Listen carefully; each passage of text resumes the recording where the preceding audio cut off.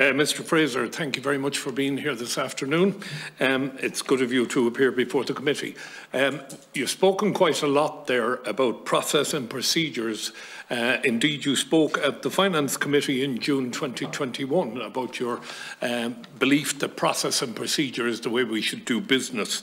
Um, I assume you are, as the most senior civil servant in the country, you are an expert in process and procedure. I want to ask you, have you at any stage briefed ministers, senior advisors and um, uh, I suppose senior politicians on the importance of process and procedure when it comes to appointments? That's my first question. Um, I, well, I suppose I'd answer that in, in, in two ways, uh, Senator. Uh, the, you know, the Cabinet Handbook and, and the, the material that ministers are given when they take office and the first cabinet meeting of every government contains all the process and procedure. And then I do, of course, from time to time speak to ministers. They might have questions for me about process or procedure. Uh, I might have advice on how a thing works. So, um, I mean, you know, people, I, I, think, understand what the processes and procedures are. They're, they're not, they're not terribly complicated, um, to be fair. Okay, uh, thank you for that.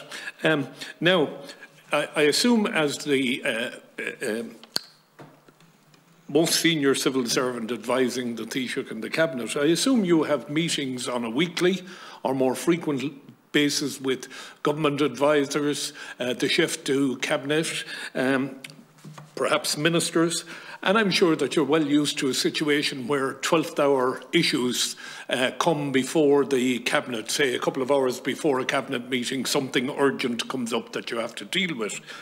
Um, Two questions here. Do you have a role in adjudicating whether something can be deferred to the next cabinet meeting because it's not urgent? And secondly, with respect to the Zappone appointment, um, did you not feel that look, this really hasn't gone through the process and procedures. We need to do, we need to delay this for a couple of days. I agree with you, by the way, with what you say. At the time the decision was made, this was not a major item of discussion, but the, it's the little things that get us every time. So I'd be interested to know what you think about that. Um, I, I, I, don't meet with the government advisors, um, Senator. They, the, the, the, government advisors who are political appointees, they, they have a meeting every week where they do, if you like, political stuff. Um, my role, obviously, I, I'm involved in, in, in, government business. I do go to the um, the leaders meeting, uh, as you'd call it colloquially, it's actually a cabinet meeting, government coordination. That, that happens most weeks, and I, I attend that uh, for most of it, not all of it. I don't get involved in, in, in party political stuff or, or any of that, so so I, am not maybe as involved as, as, as you might think in some in some aspects, and, and each government is different, of course, uh, for all sorts of reasons. Um, in terms of a role on deferral, I mean, if I if I thought a thing wasn't wasn't uh, ready, I, I would certainly advise the Taoiseach uh, if I thought it wasn't ready. I wouldn't allow a thing be done uh, if, if, if, procedure wasn't followed. Now, there is, a, there is an urgency procedure, of course, and I mean, it, ultimately the Taoiseach is, is, the person who decides what's, what comes to Cabinet, not me. Um, in, in, terms of this particular situation, um, like the, the, procedure was followed. There was a memo circulated um, four days before the cabinet meeting indicating that there'd be ambassadorial appointments and a special envoy on the agenda for the following Tuesday. Um, the minister was to bring the names to the meeting. The minister brought the names to the meeting. So there's no procedural um, problem there. The problem, as, as everybody knows, is that um, the Taoiseach wasn't aware of this.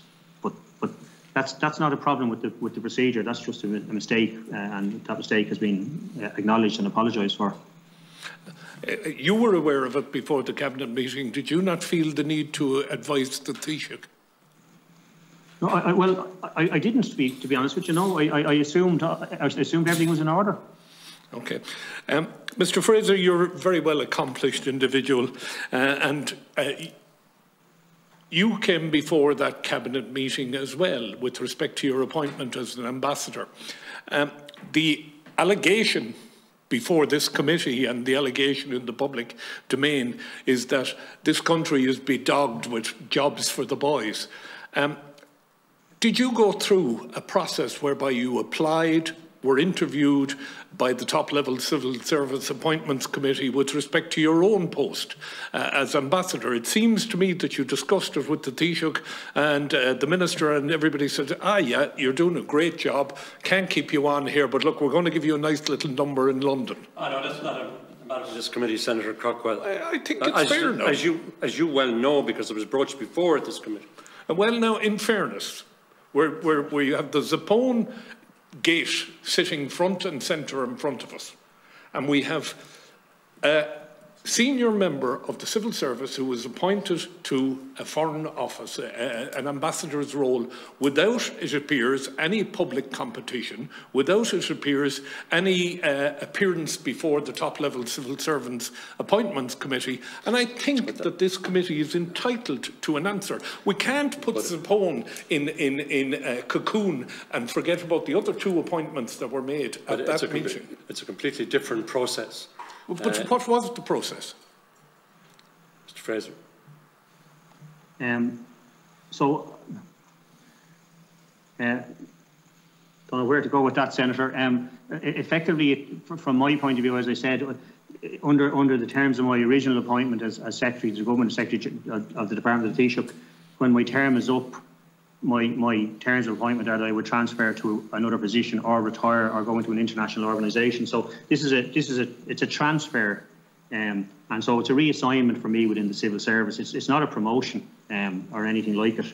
Uh, I, I I note your characteris- characterisation of this. I, I, I, I I think there are easier places to go than than London um, at the moment, um, but um, However, maybe maybe uh, maybe uh, maybe I've got a, not a handy number there, but I'm not, I'm not sure that's uh, a good characterisation of, Uh, in of the job. in any event, Mr. Fraser and, and Senator Craughwell, I'm, I'm not going to allow a Well, look, I mean, on this Mr. issue, Fraser has because been the process very- is entirely different, No, Mr. Fraser has been very straight and and, honest. and he has been helpful. He- Given, given Yeah. his experience, I would think he's the ideal man for the job in London. Yeah, well- That's not the point. The point is we cannot ring fence the Zappone appointment and say if was done on a jobs for the boys basis, and then we have two senior civil servants that were appointed to ambassador, ambassadorial No, roles. I have they to say, should have been I- interviewed. no, They should have applied for it. It should have been an open, uh, advertised position.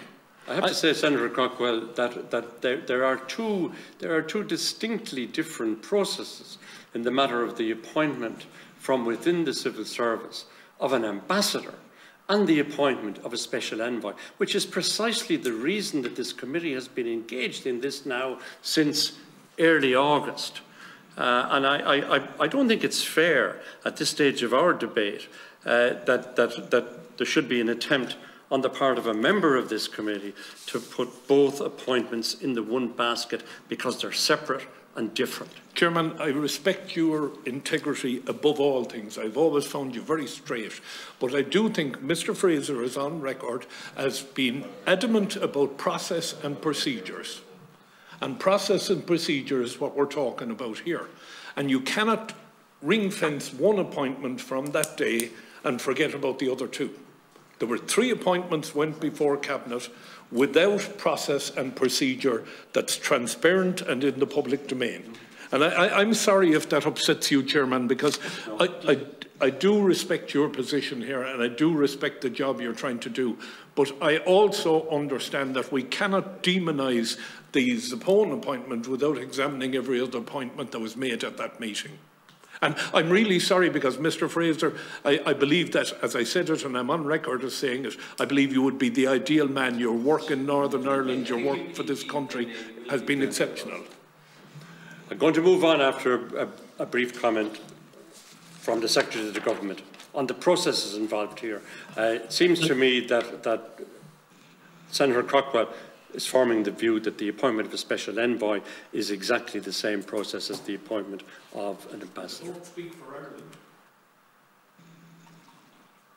Brief comment, Secretary of the Government. Uh, well, well, well, I thank the senator for his kind words, and, and all I can say is that, you know, ambassadors are, are, are civil service roles, and it's effectively, from my point of view, a reassignment within the civil service. Uh, and um, you know, we reassign um, public servants all the time, and uh, You know, that, that, that, that, I, I don't believe it has anything to do with the special envoy process whatsoever. I came into the civil service through a competition and every, every promotion I ever got was through a competition. So, uh, but, uh, One final question, Mr Fraser. It's in relation to the ministers, all ministers' telephones. Um, we, we, we've been asking for a while, and I was told at the Transport Committee the other day that all ministers' telephones are encrypted. The issue of Minister uh, Coveney's phone being hacked is a very serious issue. Would you regard it as being up there with a national security issue that needs investigation at the top level of cyber security in this country? Not sure the extent to which the Secretary of the Government can answer that question. But I do think it's an important one. I, I don't, the senator is well well versed in these matters. Um, I, I don't know the details of that situation. Yeah. All I know is that um, I, the, matter, the, matter, was reported to the Cyber Security Centre, uh, to the Gardaí, as far as I know, and also to uh, national security people here, as well as the department. So I, I, I presume it's been looked at. I, I've obviously heard media reports about the incident. I, haven't dealt with it myself. Um, but the senator is right. It, it, it's, it's, uh, these are important issues and should be dealt with as such. Thank you very much, Mr Fraser. Thank you, Senator and I'm sorry for any embarrassment I might have caused, but I, I felt I had to ask those questions. That's okay. That's noted, Senator Craughwell. It's okay.